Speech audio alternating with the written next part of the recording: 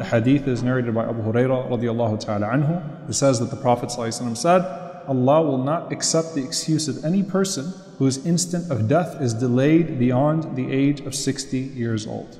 At this point in life, you've hit 60, you've faced multiple a'rad, you've had multiple hindrances hit you, right? You've seen your friends die, likely at this point. You've seen your health and your time go. And this is really powerful because وَجَاءَكُمُ النَّذِيرُ The warner came to you. what is a nadir? So the first nadir is the Prophet right? There's a secondary nadir here that it's referring to.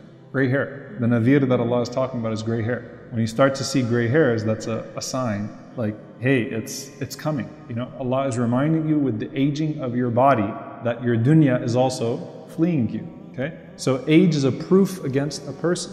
What are the important ages in the Sharia that we come across? So they're seven years old, teach your kids how to pray. Ten years old, you discipline them if they don't pray. And then there is when a person is baligh, when a person reaches the age of puberty, maturity, that's when the pen starts to write. The next age is the age of 15. Ibn Umar radiallahu he narrates, I came to join the Prophet in battle and I was 14 years old, but he didn't accept me. And then I came to him at 15 years old and he accepted me.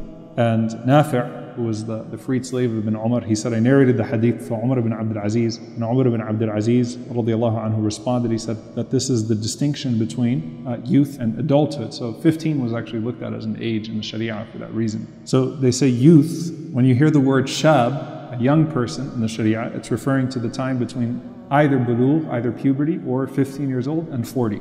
The next age, حتى إذا بلغ أشده وبلغ أربعين سنة. Until a person reaches their peak and then they reach 40 years old. Ashuddahu refers to the age of 33. This is the age of the people of Jannah, 33 years old. So there's 7, 10, puberty, 15, 33. حتى إذا بلغ أشده وبلغ أربعين سنة and then Allah mentions 40 years old. And this is what some of the scholars actually mention. أولم نعمركم Did we not give you enough life to where you've, you've figured things out now? You're at that point in life now where you have a good view of what's to come and a good view of what's past when you're around that age of 40, midlife, right? You can kind of see both sides of the mountain at that point.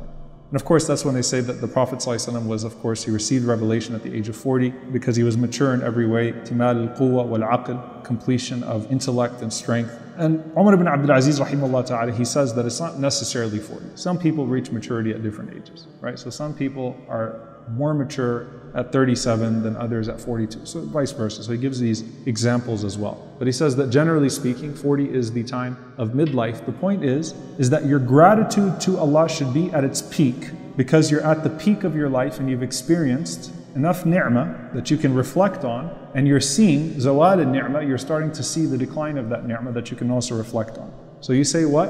قال ربي أوزعني. Says my Lord, expand me and أشكر نعمتك التي أنعمت علي. So that I can thank you for the blessings that you've bestowed upon me. وعلى والدي and upon my parents. So now you no longer have an excuse to be a spoiled brat or ungrateful to your parents. You've gotten old enough to where you, you can kind of you can sympathize, you can empathize, you feel for your parents. They're probably a lot older as well when you're 40, right? So you're starting to see their decline. So you're grateful to Allah. But you're, you're asking Allah what? Give me the ability, the means, go back to the first hadith, and ashkura ni'mataka allati an'amta alayh, to thank you for the blessing that you bestowed upon me and upon my parents. Wa an a'mala salihan and that I can do the good deeds that will please you. So I can turn this blessing into a greater blessing, the blessing of the hereafter.